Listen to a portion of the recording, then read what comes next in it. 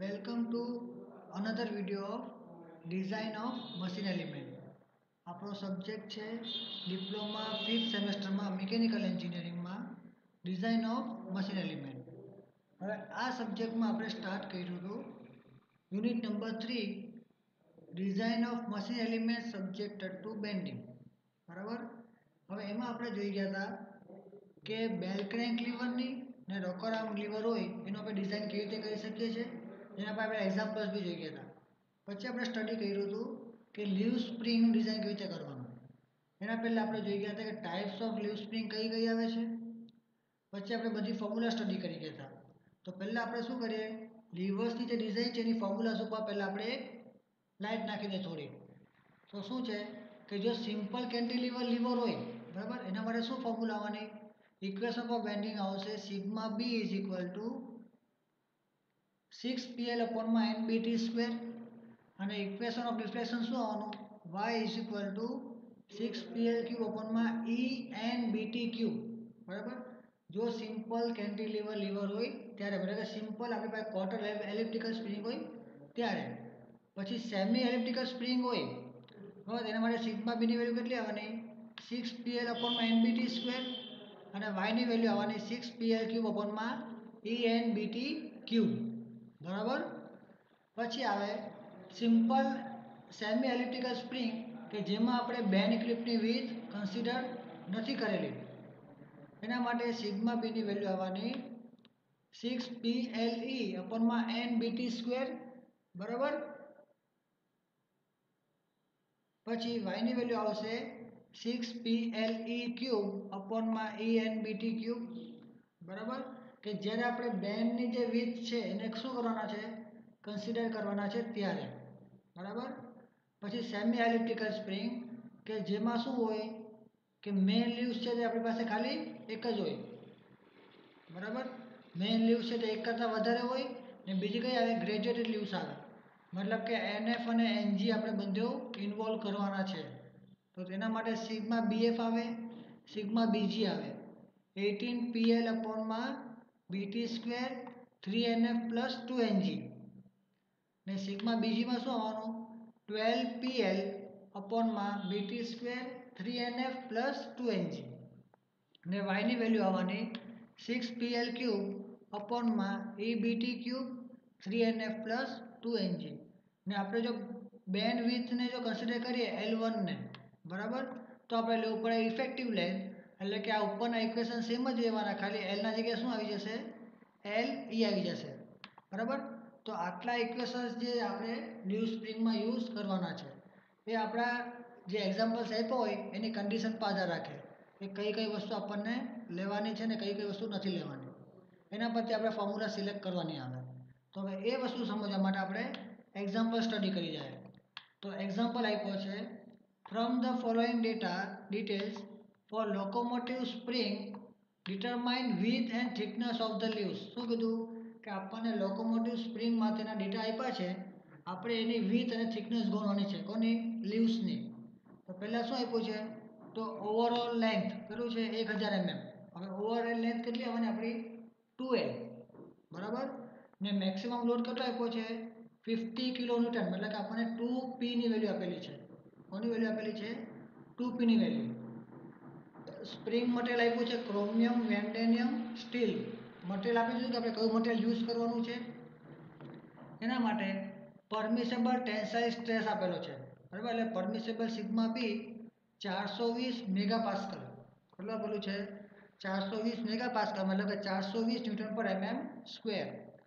પછી width of the middle support કે વચ્ચેનો જે સપોર્ટ છે, એની વિથ આપે છે. મતલબ કે આપણને એલ વન આપેલું છે હંડ્રેડ એમએમ. બરાબર?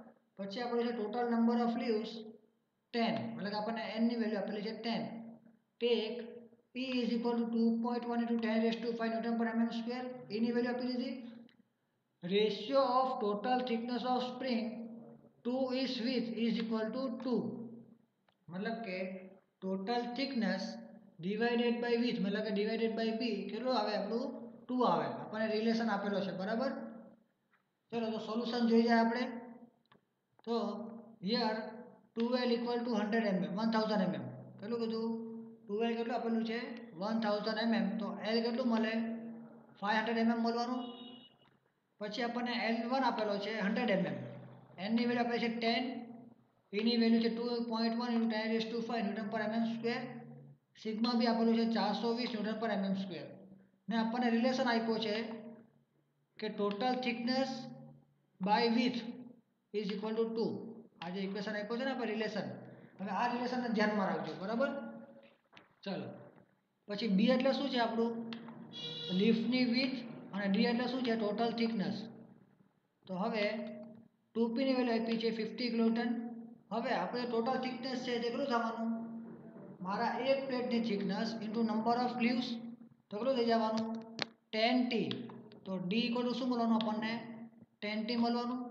ને આપણને શું આપ્યું હતું? D equal to D by B equal to two મતલબ કે D equal to two B તો લખાય ten T is equal to two B તો શું મળે? B is equal to five T સમજ પડી આપણે ઇક્વેશન કઈ સોલ્વ કર્યો? એટલે કે આપણને શું આપ્યું છે? ટોટલ થિકનેસનો અને વિથનો રિલેશન આપેલો છે. ટી અને વિથનો નથી આપેલો. તો ટોટલ થિકનેસ કેટલી થવાની? Number of leaves into thickness બરાબર ને? સમજ પડી ગયું D equal to ten T કેવી આવ્યું? ચાલો. હવે આપણને શું આપેલું છે? બેન્ડ વિથ આપેલી છે, બરાબર? શું આપેલું છે આપણને? બેન્ડ વિથ એટલે કે વિથ ઓફ મિડલ સપોર્ટ તો આપણે શું કરવું પડે? ઇફેક્ટિવ લેન્થ ફાઇન્ડ આઉટ કરવી પડે. તો ઇફેક્ટિવ લેન્થ એલ કેટલું આવવાનું? L plus L minus L one by two એટલે શું થઈ જવાનું? પાંચસો માઇનસ પચાસ, મતલબ કે ચારસો પચાસ એમએમ તો એલઈની વેલ્યુ મળી ગઈ ચારસો ને પચાસ એમએમ સમજ પડી? આપણે કેવી રીતે સોલ્વ કરીએ છીએ એક્ઝામ્પલને હવે આપણે બી અને ટી ગોતવાનું છે. તો આપણી પાસે ઇક્વેશન છે કે જેમાં આપણે શું કરવું છે કે વીજ જે છે મીટર સપોર્ટ એને આપણે કન્સિડર કર્યો છે. તો એના માટે શું ઇક્વેશન આવે? Sigma B is equal to six P L E અપોનમાં N BT square એલની જગ્યાએ શું આવી જવાનું? એલ ઈ આવી જવાનું. આપણી પાસે કોણ સિગ્મા બીની વેલ્યુ આપેલી છે ચારસો વીસ. પીની વેલ્યુ આપેલી છે. એલ ઈ આપણે ફાઇન્ડ આઉટ કર્યું. એન આપેલો છે. બી આપેલો છે અને ટી આપેલો છે. બીમાં શું આપ્યું છે? B equal to five T relation આપેલો છે. બધી વેલ્યુ ઇનપુટ કરી નાખો. તો four hundred and twenty is equal to six into two five triple zero into four five zero અપોનમાં ten into five T into T square એટલે આપણને આ equation મળી ગયો. હવે આ ઇક્વેશનમાં ટીને કરતાં બનાવો. તો શું આવે? T cube is equal to six into two five double zero into four five zero divided by four two zero into ten into five હવે આ બધી વસ્તુ કેન્સલ આઉટ કરો અને ઇક્વેશનને સોલ્વ કરો, તો ટીની વેલ્યુ કેટલી આવવાની? Fourteen point seven five eight which is nearly equal to fifteen MM તો ટી આપણને મળી ગઈ ફિફ્ટીન એમએમ પછી ટી અને બીના વચ્ચે રિલેશન હતો કે B is equal to five T તો બી કેટલું થવાનું?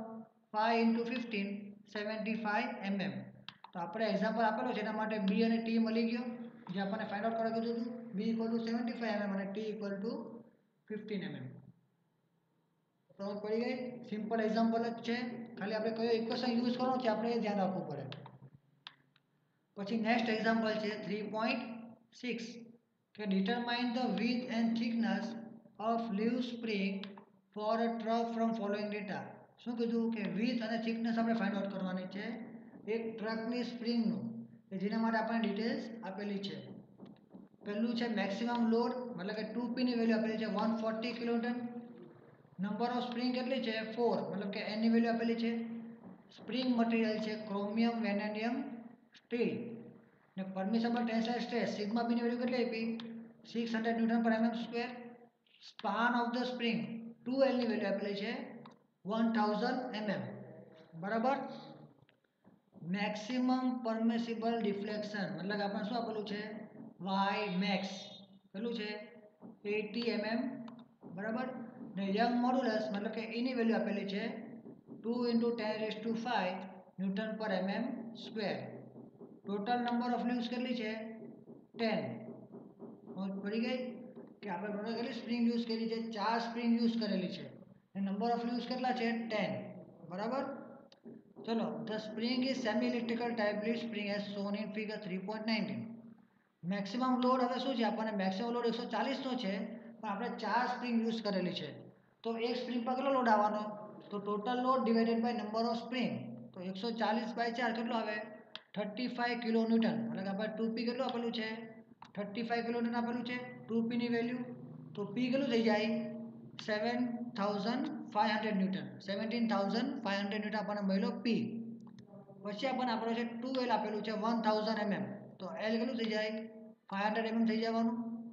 વાય મેક્સ આપેલું છે એટી એમએમ સિગ્મા બી આપેલું છે six hundred twenty per MM square એની વેલ્યુ આપેલી છે two into ten two five ને એન કેટલું આપેલું છે? ટેન હવે આ ડિટેલ્સ આપેલી છે, એમાંથી આપણે શું કરવાનું છે? લીવ્સની વિથ અને થિકનેસ ગોતવાની છે સ્પ્રિંગ માટેનું. હવે આવું જ્યારે હોય, તો આપણે જોવું પડે કઈ કઈ વેલ્યુ આપણને આપેલી છે. હવે તમને આમાં જો તો સિગ્મા પી અને વાય મેક્સ બંને વસ્તુ આપેલી છે. તો આપણે શું કરવું પડે?